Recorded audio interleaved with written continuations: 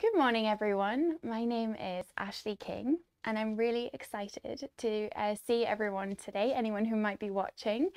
So, I'm going to talk to you about one of my favorite topics today. Today, I'm going to talk to you about TEDx um, and TED, what it is, why you should care about it, um, how it can help you to grow your visibility. Um, and uh, it's one of my favorite topics, so I'm really excited to get telling you about that. But uh, in the meantime, I just wanted to tell you a little bit of um, reflections I've had over the last few weeks. And uh, last night I went to a lecture. It was a really interesting lecture. It was the David Goldman Lecture, which is an annual lecture at Newcastle University Business School. Um, it's held by some really esteemed colleagues um, of Newcastle University Business School. And um, it was really interesting because the topic was about um, timber, and it's a, a, subject I would never normally be interested in or know very much about.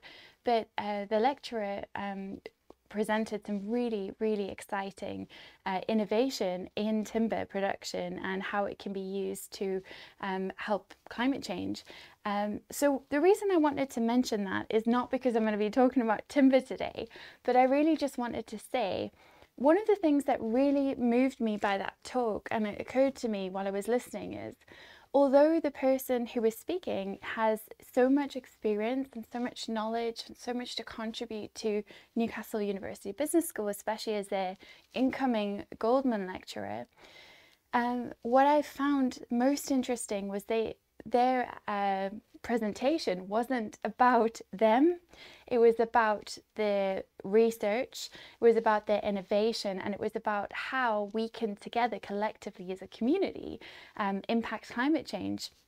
And that just blew me away because I go to lots of events, I go to lots of networking, I speak myself, I see other people speak all the time.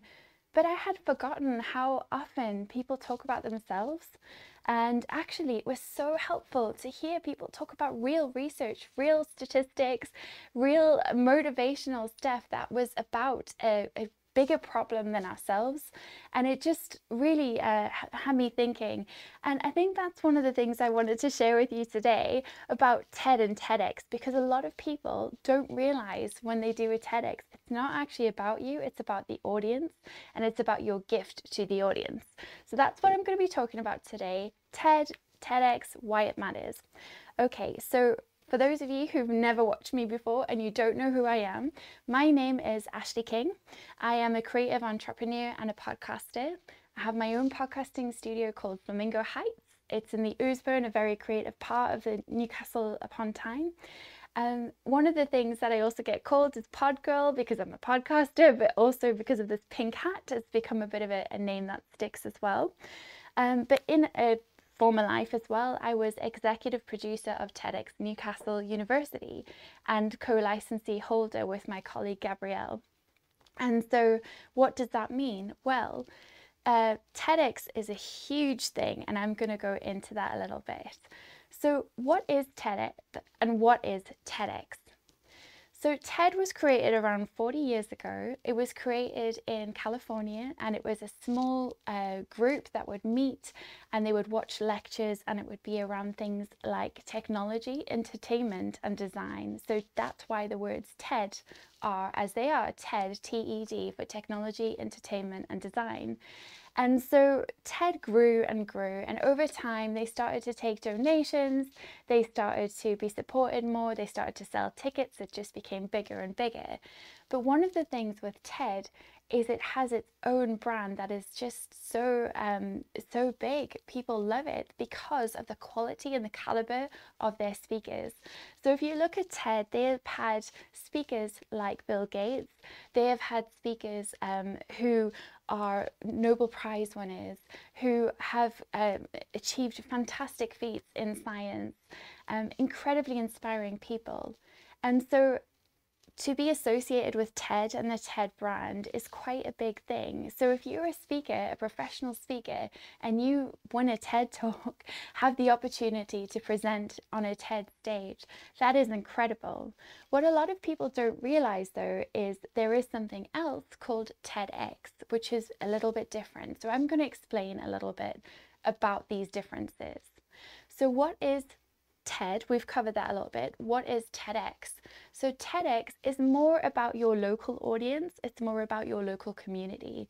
So, while TED Talks are for people on a global stage and anyone can listen to them, and they're supposed to cover things like human trafficking or climate change or big ideas, um, TEDx is more about your local ideas, things that matter to you on a more local or regional level.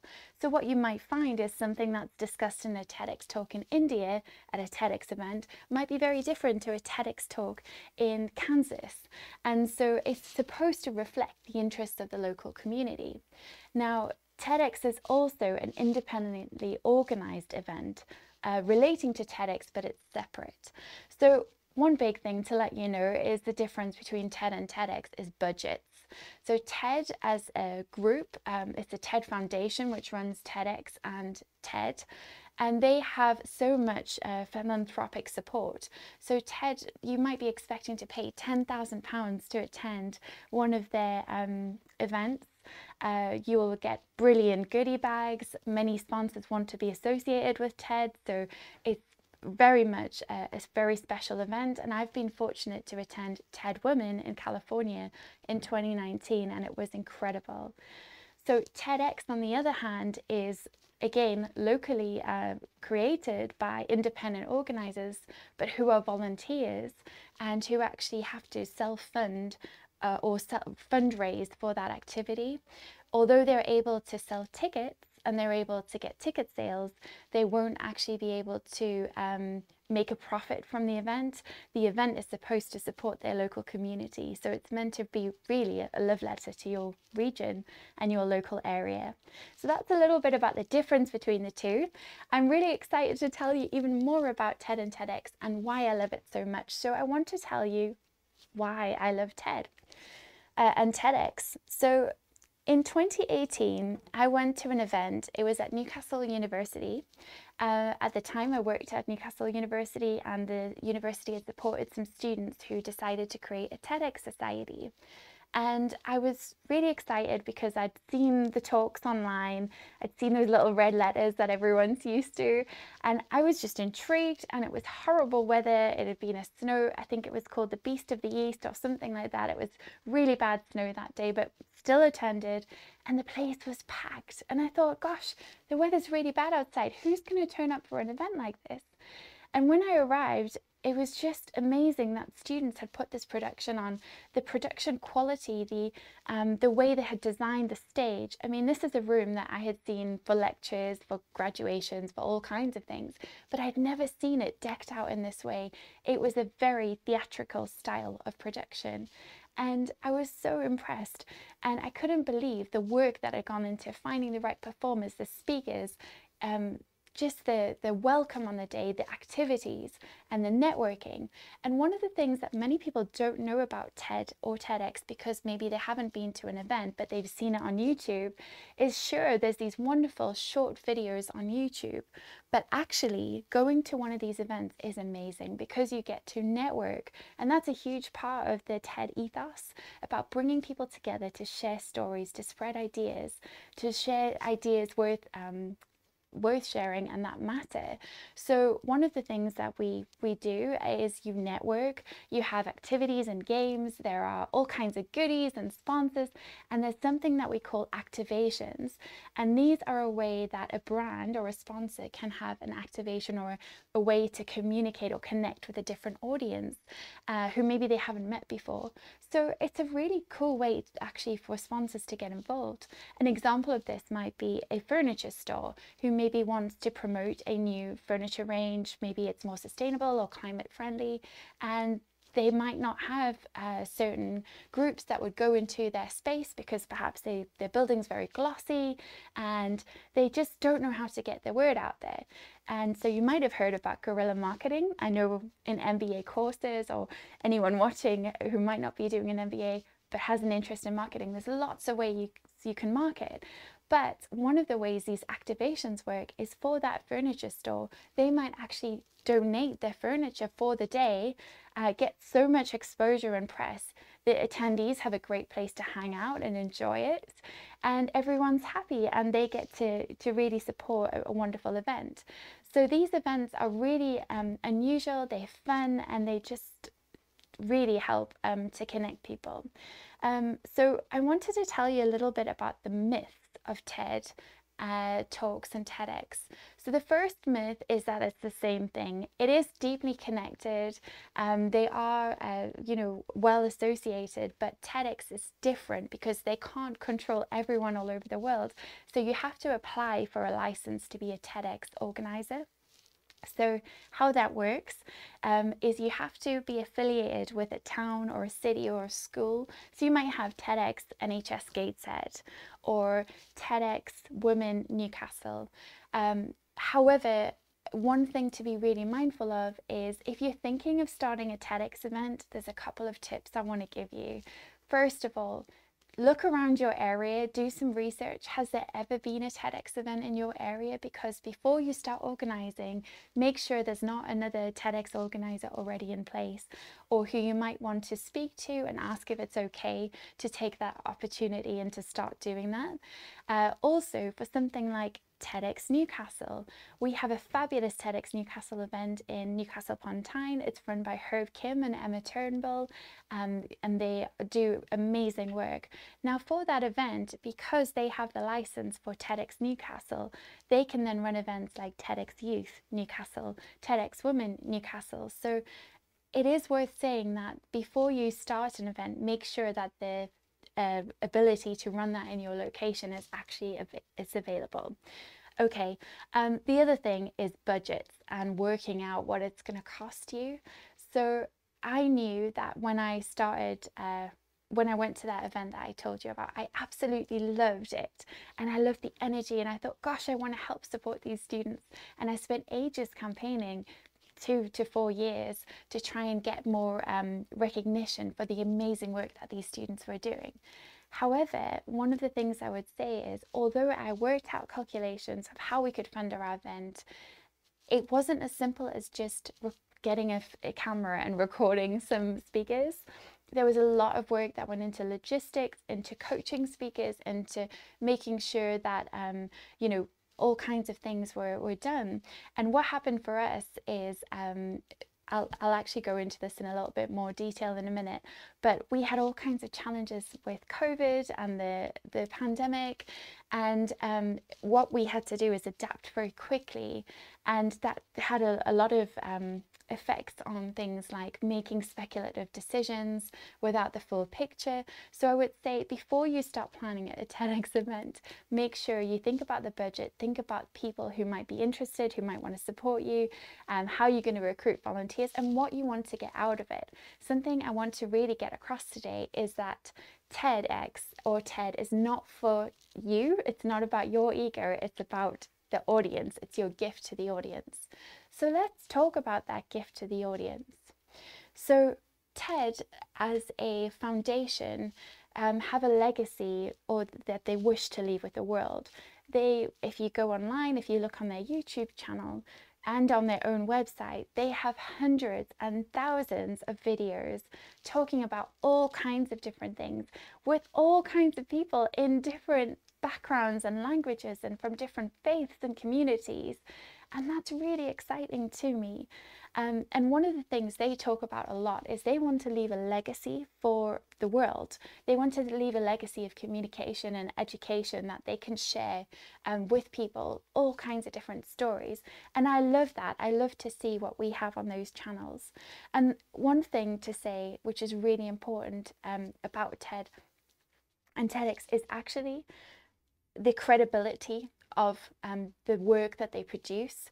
So what many people might not realize is if you were to get a TEDx talk, you're not just going to go on stage, do your usual talk, um, which you maybe haven't practiced, and wing it. You can't. It's not possible because what you will have is you will have a curation director that you will work with. Um, you will work with, in my experience, I've always worked with teams for about six months. So our speakers would get uh, a lot of support. We would go through their talk, we would help them to structure their talk, we would fix uh, their talk over a series of weeks. But also, the most important thing, which you'll find, is you have to evidence your talk. So you can't just go up and talk about um, a particular topic and just um, you know, wing it, as I said. You wouldn't be able to go up and say stats that you don't have a, backup evidence for or you don't quote. It doesn't mean that it's an academic presentation, but you would be expected to provide references. And that's a huge part of the TEDx journey as a production team to make sure that actually your speakers are on track. Because the last thing you want to do as a production team is have to say to one of your speakers, oh my gosh, uh, TED have actually pulled your talk uh, because it wasn't up to scratch and it didn't have the right evidence. And I'm really sorry. I know you had 30,000 views, but we've had to take that down. Nobody wants to have that conversation, which is why, for me personally, as a TEDx organizer, I've always been really, really strict. Um, okay, so I wanted to share a little bit about how to get a TEDx talk. Now, I want to say here that I'm saying how to get a TEDx talk, not a TED talk. Again, like I said, um, there is a difference, there's a distinction. You can get a TED talk, and it's a wonderful idea. And I, for anyone who does, I'm really happy for you. But they are very hard to get because the competition is extremely high. It's a global community. People are applying from all over the world. So I would say if you want to do a talk, go for a TEDx talk uh, rather than a TED. Who knows, one day you might um, get there. If you look at someone like Simon Sinek, he has done TEDx talks before he has been affiliated with TED in other ways. Um, so it's, it's a really good uh, tip. Just Okay, so how to get a TEDx talk. So, first thing, it is about the audience, not you. So, what I would highly recommend is if you want to do a TEDx talk, go onto the TEDx website, have a look at uh, the events section or participate. See what TEDx events are coming up, what's going on. You might find that you might live, for instance, in Cheshire. So you could look at what TEDx events are coming up in Liverpool, Manchester, and anywhere else in your area. Uh, like I said, there could be TEDx NHS, TEDx Women, TEDx Youth. I've seen kids about six years old doing TEDx talks. Um, it just depends on what the event is. Okay, so that's my first tip is look locally, see what is going on and start to make those connections. I would start to think about your topic, okay? What would you like to talk about? Is it something that's new? Is it something that's going to add to a um, to the research or uh, to a particular viewpoint? Is it something that's going to actually give something different and new? And this is something you'll find TEDx organizers will ask you when you when you pitch to them. They'll be like, "Well, what is so special about your idea?" So you really need to start thinking about that your topic. What is so unique about it? Remember, TEDx is based originally around technology, entertainment, and design. So, is it a really exciting challenge in the tech sector? Is it something that you've experienced? It can be human social justice matters, you know. Eh, however, there are certain rules that you might not be aware of about TEDx. So I need to tell you those as well now. So you aren't able to actually uh, what they call proselytize. I can't even say that word. Uh. Um, I don't know why it's not rolling off my tongue. Apologies, but you can't go on the stage and you can't basically start preaching about a particular topic. So if you have a religious view or if you have a spiritual viewpoint about something, you wouldn't be able to just go on a TEDx stage and start talking about how wonderful it is or how we are all going to have uh, something happen to us when we die, or it has to be uh, anti uh, not necessarily anti-religious but it needs to appeal to a broad and global audience and and just also remembering that you want to accept different people's viewpoints so it needs to be something that's inclusive. Okay uh, you can't talk about things like quantum physics in uh, without proper evidence. We've already me mentioned evidence, but I know that there are people who've wanted to talk on, on my TEDx stage about things like crystals and certain topics that are a little bit more new age. Again, uh, there are certain rules of TEDx about what we're able to talk about and not.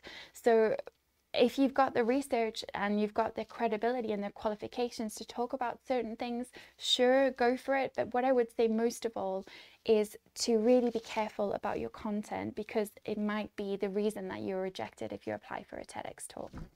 Okay, so one thing that I'm very mindful of is I just want to share a little bit about what it can be like for me. So when I have been um, very involved in TEDx. I'm not currently running at a TEDx event, but if people have known that, I've gone to events and I've had queues of people wanting to talk to me.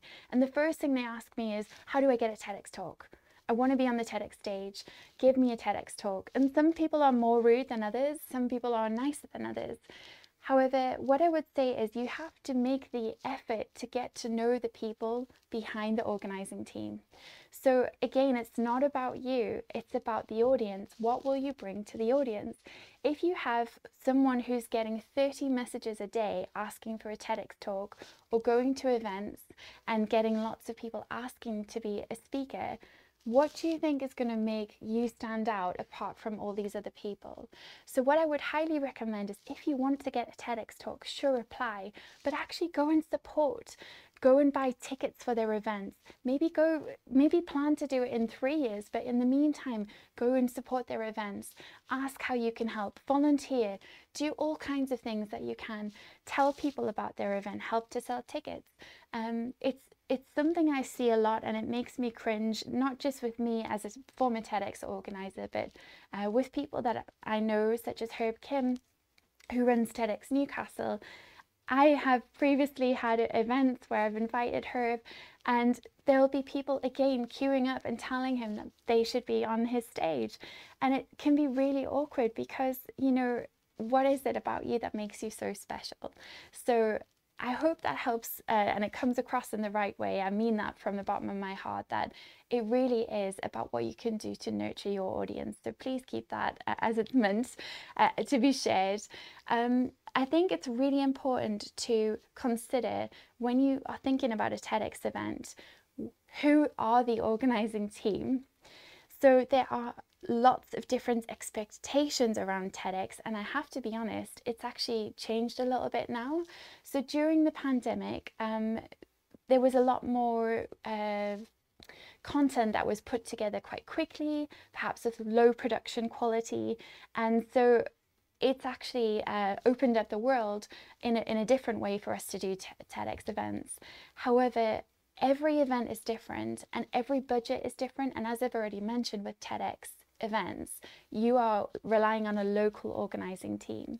So, what I've found is that if you look at a city led TEDx event, they tend to be higher production budget because they've got uh, people all over the city who want to attend. You've got people who maybe come from outside their region who want to attend and support the event. So, in my opinion, uh, that can be a higher production quality or, or budget.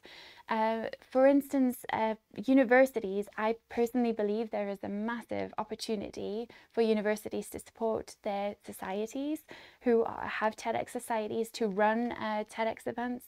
And the reason I say that is because when we ran our TEDx event, we have had collectively over 200,000 videos on our official TEDx talks. So that is an incredible reach uh, to reach different uh, audiences, and it's great for visibility for that institution.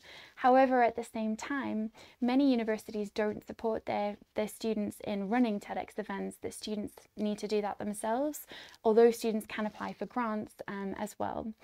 So I would say a, a, university in the UK that's doing really well when it comes to TEDx is TEDx Warwick, uh, because actually they collaborate between the university and TEDx Warwick as a city organized organized event.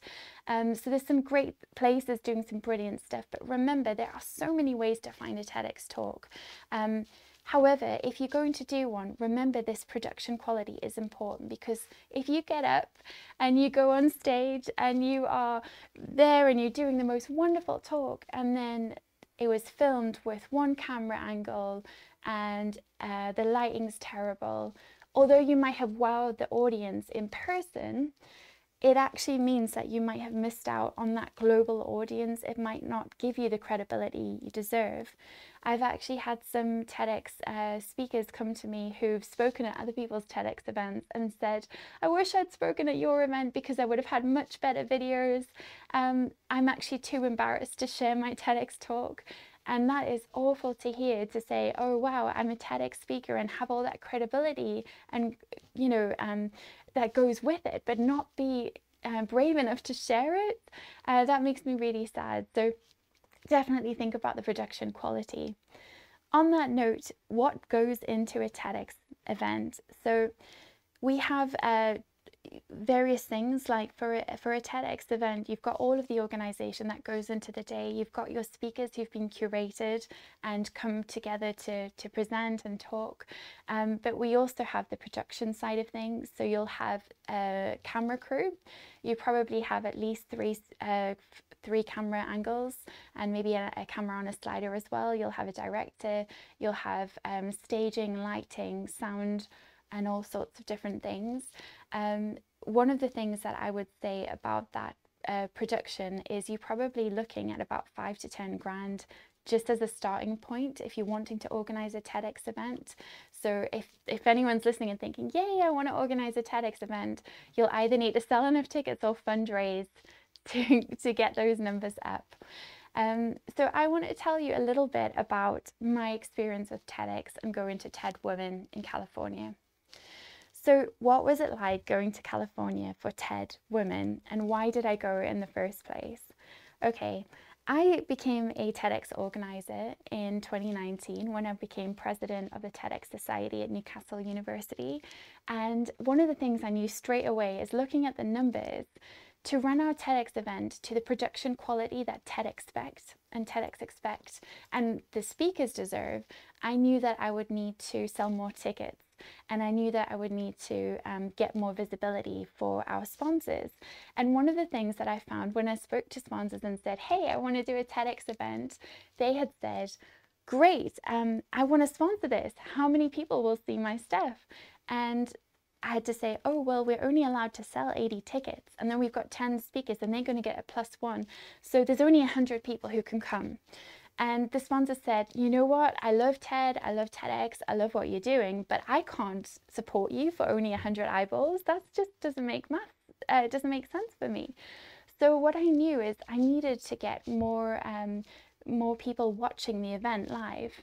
And what happened was I decided to look at the numbers and saw that if I applied for a bigger license, I would be able to have up to 1,200 people which would be incredible for the sponsors. It would mean that they would get much more uh, views, they would get much more engagement. And because we wanted to do these really fun activations with our audience, it would just be a much uh, more interesting way to, to run the event. So alongside my colleague Gabrielle, who was my uh, former executive producer and um, co-organizer, we went to California to TED Women. This is something that was, uh, you know, we had to take time off work, um, and time off university, time off our studies. We had our own family commitments, but we went to California for five days. It was really intensive, uh, so much fun, and we self-funded this, by the way. So uh, we went to California, we got to meet amazing TEDx organizers at two days of really intensive TEDx training. So we got to learn about how TEDx is funded, what they do. Uh, we got to learn about how to coach your speakers better, how to make fundraising decisions to support your event, and all kinds of different topics. And it, we also got to mix with some very wealthy and cool people in California, which we weren't expecting. And then we got to attend TED Women, which is a TED event, but it's focused primarily on women. And I have to be honest, having gone to a TED Women event in person, I would love to go again, or even uh, a TED, uh, a formal TED event. Um, it's amazing the care and attention to detail at a TEDx event. And I do want to say uh, that uh, if you ever have the chance to go to a TED event from an event organizer perspective, the logistics, the the production value they've got in it, it must cost them hundreds of thousands of pounds. The staging is just right. there's sofas that you can sit on and watch the talks. It's so much fun. And what we really like is when you see those talks uh, online on YouTube, they've been edited. So when you're actually there in person in California watching these talks live, people mess up. They make mistakes like I have many times this morning. They'll say things that maybe they they get stumbled on their words and you and we got to watch behind the stage rehearsals and then we got to watch people actually doing their talk live and that was incredible. It's being we felt like a, a sneak view on those rehearsals was incredible. But it just goes to show again the work that goes into these events. So I just wanted to share that I think for anyone listening, TED is an incredible opportunity to go to, to go and attend, to be part of that. If you've got the money to donate or to support their activity, it is a really special community to be part of. If you talk about TEDx, I just want to say TEDx has changed my life. It's one of the things that I absolutely adore. Um, I would say that, uh, you know, when I went to my first TEDx event in 2018, they had a provocation where they asked people, um, "What would you would you ever?" That was the the title, and so I wrote on a board, "Dare to Dream." So they wrote, Would you ever? And I had Dare to Dream. And they had this whole board of X's and they had everybody's little picture of what they'd said. And I still have that photograph would you ever dare to dream? And every day I look at it, it's on my desk, and every day I dare to dream. And some days I find um, myself getting scared or unsure of whether I've made the right decisions, being an entrepreneur, and should I just get a normal job? And I look at that picture and I think, would you ever dare to dream? And it just reminds me of how much um, dreaming is so important. And I think one of the things that I want to leave you with today is for anyone listening when you go to a TEDx event or a TED event, every single talk is meant to leave you with something that really provokes you. It doesn't mean that you have to like every talk. Some of the talks I listened to in California, I really was not into and I didn't agree with. Um, some of the topics were quite hard to get my head around. But even now, I sit and I think about those talks, so I've watched them back many times, and my perspective has shifted or changed. So it's not that a TEDx talk is for everyone to have the same idea, for us all to be in the same echo chamber. It's to promote uh, thought and to provoke um, discussion and for us to share more and have more community. And so if you're going to do a TEDx talk, I strongly encourage you to consider what will you leave with your audience? What will the legacy of your talk be? And that's something I'm proud to say that with our recent event, Imagine a World, our conference, um, for TEDx Newcastle University in April 2021, despite a pandemic, despite being forced to cancel. Um, you know, uh, for me, having to make speculative financial decisions, I've self funded everything. I funded the production, I did the curation, did the set design, everything myself. Um, one of the things that I would say is I still get people saying, Wow, I was so moved by this talk or this particular discussion or part of the day or the networking activity.